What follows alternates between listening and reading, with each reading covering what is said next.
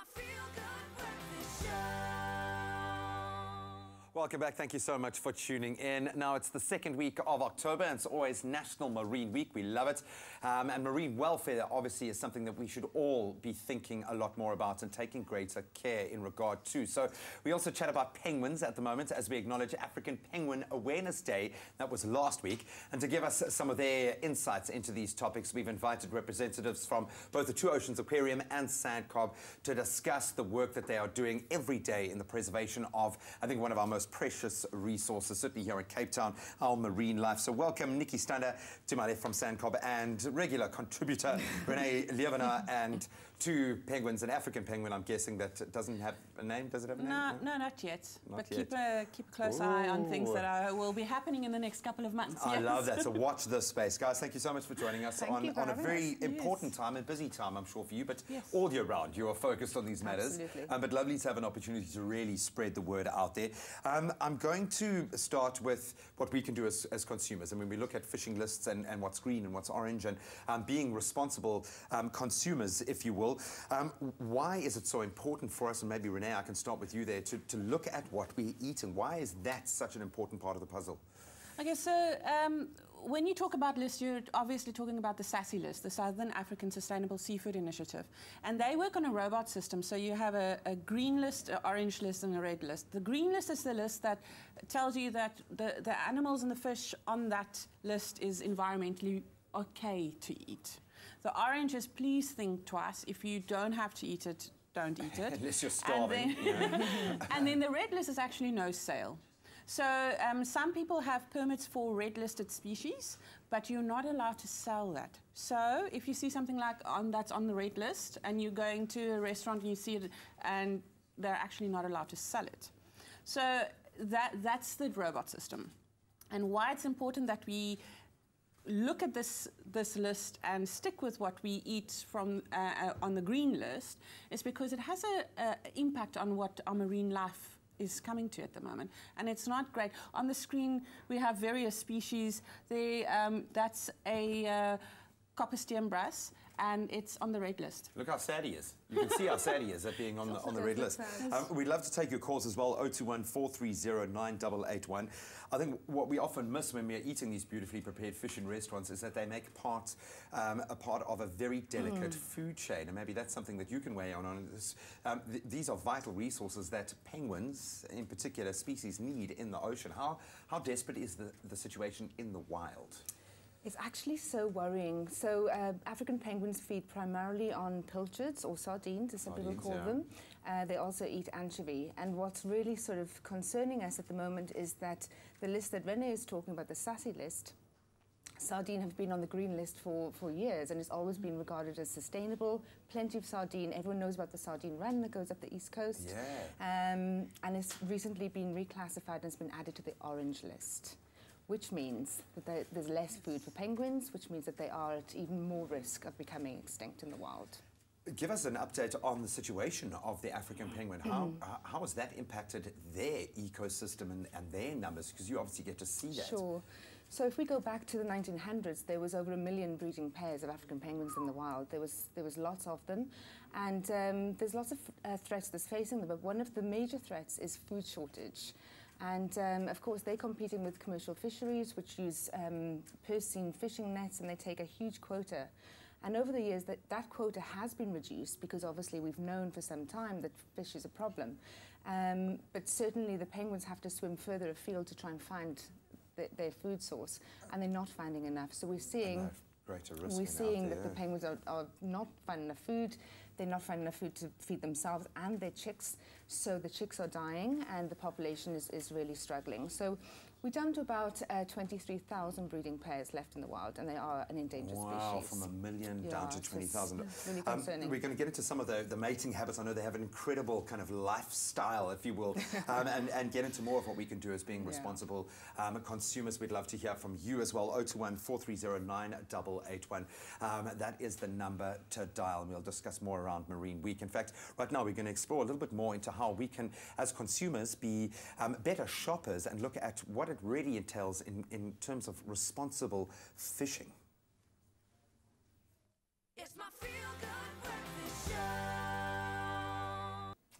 So again, we are inviting you to call us with your eco or wildlife related questions, or maybe to tell us a bit about your experiences traveling with animals um, and experiencing, in fact, the marine life. That's our focus um, as it is Marine Awareness Week. The number to dial 021 430 or you can post those questions on Facebook or Twitter. We're joined by Nikki and Renee, um, offering us a very unique perspective, in particular on penguins. It is, of course, um, or at least was, African Penguin Awareness Day. You've just shocked me with the massive decline in the numbers of African penguins, which says to me that mm, mm. SANCCOB's role is changing. It's not necessarily just about rehabilitating maybe those animals that have been affected or birds uh, affected by oil spills, which is terrible and has mm. huge emotional attachment, but more about what you can do to impact the numbers of penguins in the wild. What, what, how has your work changed?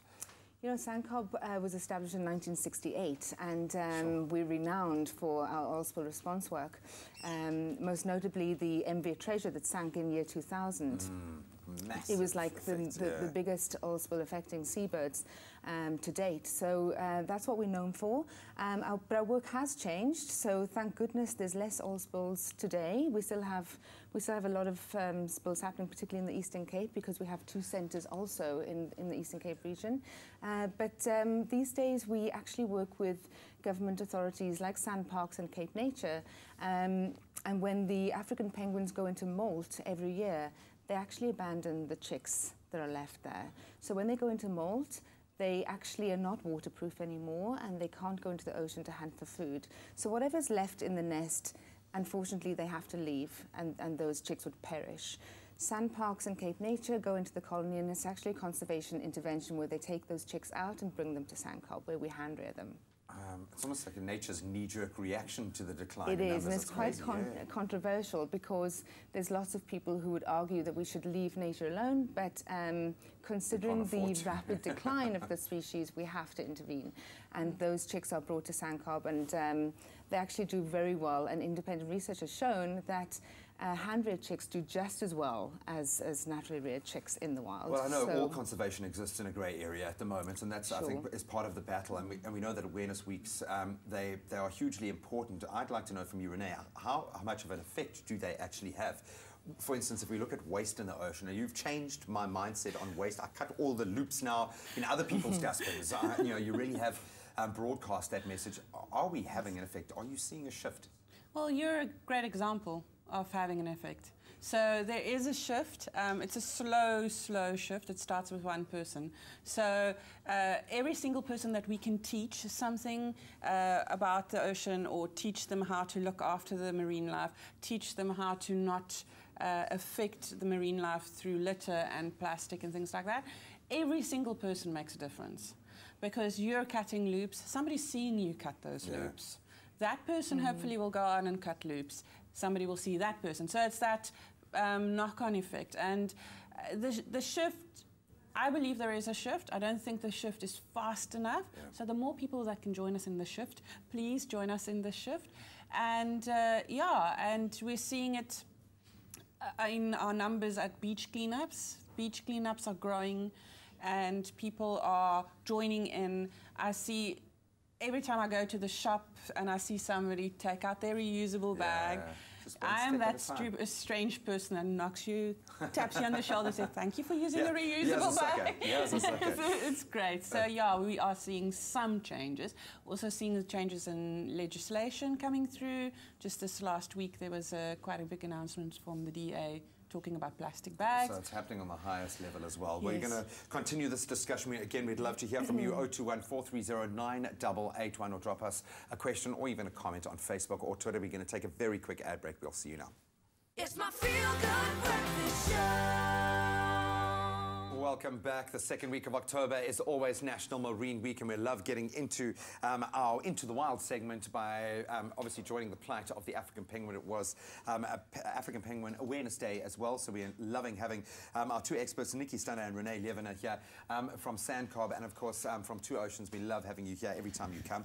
Um, you've brought a beautiful African penguin there who doesn't have a name yet. Watch the space, that's all I'm saying. Um, but they've got a, a, a beautiful uh, kind of their own lifestyle seems to be very human in many ways. Maybe Nikki, you can open us a, a window into how they mate. Do they mate for life? I've heard that that They is do, a They do. They're one of the seabird species that um, find a partner So they become uh, sexually mature when they're about four years old, and um, they find a partner and uh, they will mate um, at, at the breeding site. Um, and then they'll go off and, and find fish, and then when it comes around to breeding time again, they'll actually call and find that individual, which is pretty romantic, if you ask me, um, that they can actually find that, that individual amongst like hundreds or thousands of, of other African penguins that look exactly the same to you and I, but they can find that individual and, and mate year after year. How, how do they do that? What is what is what genetic trick do they have? I mean, Is they have this this innate um, desire to to reproduce, and um, and if they find a mate that they can have successful clutches with year after year, then they'll stick to that. If, however, they they mate with an individual and uh, the clutch fails, so the eggs don't hatch, they can divorce. They can it. Such is life. Such is life, is exactly like I say. It really does happen. Yes. Um, I think, Nikki, you, I mean, Renee, you have the opportunity to, to get a much broader perspective on, on marine life. And we've seen, uh, as Nikki has said, a massive decline in the numbers of, of African penguins. What other kind of areas are you most alarmed of when we look at the bigger picture? Why is Marine Week so important? What, what species do we need to focus on? So at the Two Oceans Aquarium, we focus on two things that's marine related. That's overfishing and plastic pollution. Yeah.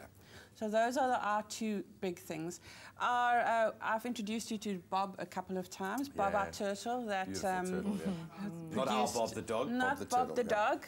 Though they do look quite a lot. They've got a similar demeanor, yeah.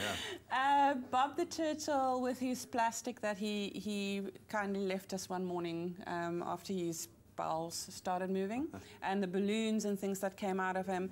Then we also look at the, the small, how small loggerheads are coming in more and more with plastic in them. And the reason for that is that uh, little hatchling loggerheads, they're drifters. They drift with the ocean currents and they eat everything that's around them.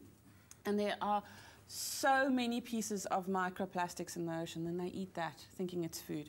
So uh, we have um, SANCCOB is a very good story about Bobby the the cormorant The that, cormorant. uh, that he had a, a straw. straw He twice. eh? actually ate a straw. And Yeah. um, so straws are bad news, people. If, if there's something that you can take home today, just Just don't. ditch the straws. Don't They use are the very straw. dangerous to, Uh, to sea life. We're going to continue to look at a, a few more ways that we can get behind what you guys are doing at this moment, especially. And again, we'd love to hear from you if you've got any calls or comments. 021 430 uh, 9881. But right now, we're going to continue to look at the journey from a consumer's perspective of how we can make sure that we are fishing responsibly. It's my feel good breakfast show. So we're going to conclude our discussion about National Marine Awareness Week. We've got Nikki Stander uh, from SANCCOB and Renee Leeuwner from Two Oceans Aquarium. I've learned so much from you guys today. Thank you so much for joining us. We're going to use this final uh, platform to put out there what you guys need from us. From a SANCCOB perspective, where can we help? I've already adopted a penguin, which is such a cool process to go through and so easy to do as well. Yes. Um, what do you need from the public? Okay, so anyone who wants to help, and I urge you to, because these penguins are extraordinarily special and we need to save them, uh, can go to our website, sanccob.co.za, and um, get involved in lots of different ways. Uh, but one of the things they can do is adopt a penguin, like you've just mentioned. Um, and for that, for 500 Rand, you can um, not take a penguin home, but you can I was going to say, you don't get to keep it, unfortunately. I did ask. no, sorry. But uh, you get a certificate and you can name that penguin. So it makes a really special gift for someone special. And then you can also contribute to, to the conservation of the species as well. And that money obviously goes towards the rehabilitation and release of these birds. Um, other ways you can help is to donate a brick. So for 50 Rand, you can uh, buy a brick or donate a brick uh, for our new Seabird Centre in Table View. Um, the current building that we have is Just can't handle it's, yeah. a, it's a disaster. It's really uh, dilapidated. And so we, we're in the process of building a new Seabird Centre. We had Lotto funding. However, that's not enough money to, to finish the We want it to be state of the art. So we, want, we, need, we need to fundraise for that. So um, those are the ways you can help. And of course, if you want to donate in any other way to our, to our other projects, then Just- uh, it's all on the on website. board. Yes. Renee, um, I know you, you're championing so many initiatives at the moment. How can we help now? What do you need? So uh, if you go to our website you, and you go to the little shop icon, there's a donate button there as well. That money we funnel into various areas, including SANCCOB. We uh, uh, our turtle rehab, our Cataloop Save a Life for the seal rehabs and things like that. So uh, that's one way. Another way is just to make a change in your own life. Yeah. To today decide I'm not buying shopping bags anymore. I'm not using straws. If you need a straw, get Yeah, yourself a straws, bamboo yeah. bamboo straw, a stainless steel or a glass straw. They're out there and you can get them um, all over the place. Uh, go to our website, check out our campaigns, and just make that one decision today to change something in your life. And of course, buy SASSI green listed uh, seafood and, and not fish. orange, not red, Not, not orange, not red. And if you, green. Yeah, and um, and that's sardines. You know, sardines. And so here's a thing: buy chicken that hasn't been fed on fish meal, because sardines make fish meal. I think what we often forget is as consumers, we are probably the, the most powerful voice in that because we affect the commercial chain and how companies then produce. And if you start buying bamboo, if you stop buying plastic products, they're going to be forced to think of other ways of making money. Ladies, thank you so much for what you do Thank every day, you. not just Thank this week. you. Um, I really have learned a huge amount, so thank you to, to all of you who've weighed in as well. Um, and again, you can keep posting those questions or comments you have around our marine life on our Facebook page. Wonderful discussion. Thank you. Thank, you. you.